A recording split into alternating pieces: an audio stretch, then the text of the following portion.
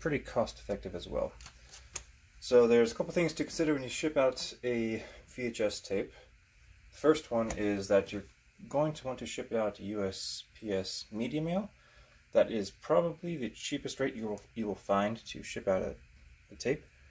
Right now it's just under $4. So this particular tape, Jacob's Ladder, I haven't watched the movie myself, so I can't say much about how good the movie is.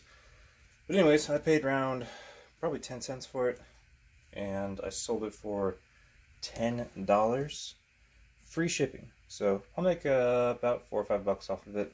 Nothing too crazy, but you know, it all adds up if you're shipping out, you know, 10, 20 tapes a week. So, like I said, we're going to ship out media mail, so that means that uh, it's going to be shipped alongside of a lot of larger boxes with tons of books in them. So you want to make sure that's well protected. So we're going to do, we're going to offer it three layers of protection. First one is going to be, we're going to bubble wrap it. We're going to wrap it in bubble wrap. Then we are going to wrap it in some sort of a hard material like cardboard. And finally, we are going to put it into a uh, mailing mailing bag to offer it uh, the weatherproof protection when it's in transit. So let's go ahead and wrap it up in bubble wrap.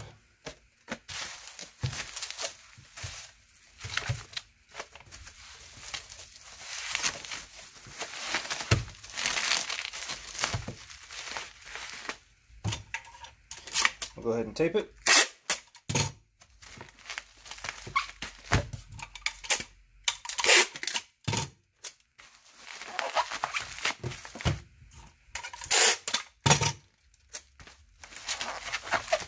Now, I like to tape it three times.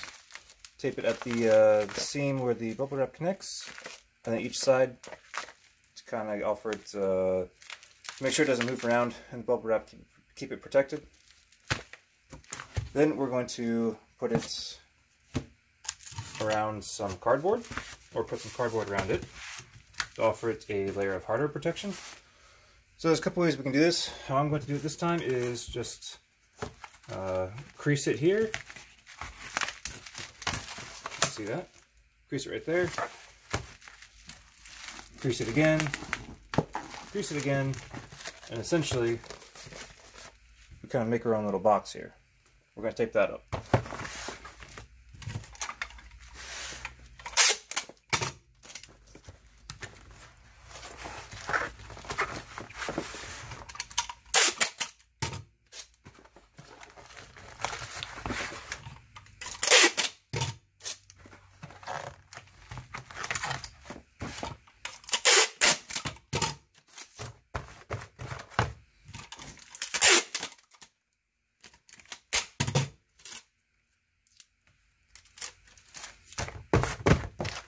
Again, I like to tape it three times, one at each end, to keep the uh, tape from moving out, or the VHS tape from moving around inside. And then one at the crease there. And then I like to connect the tape in the middle so that the tape does not separate from the actual box. Then all we're going to do, it, do from here is place it in this bag.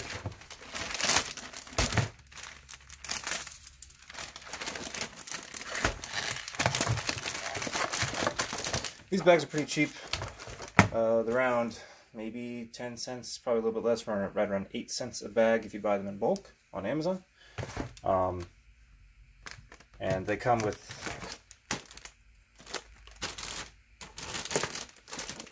they already come with adhesive on the end there. Now, typically, I usually still will tape the adhesive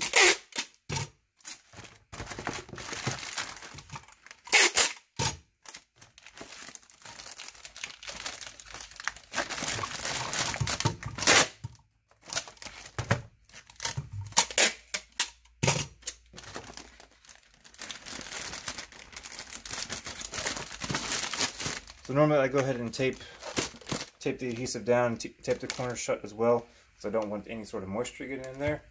Uh, tape's pretty cheap, so there's no reason to not over tape something. But there you have it. We have it uh, protected there in bubble wrap. Then we have a hard layer protection. That is the, uh, piece of cardboard in there to help it help keep it protected from all those large, heavy uh, boxes full of books. And then we put it into this weatherproof um, plastic bag to help protect it against moisture on the way over.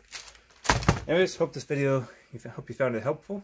If you did, uh, go ahead and give it a like or whatever you want to do to it. And if you have any suggestions on how I can improve packing VHS tapes and shipping them out, feel free to leave that in the comments below. Thanks.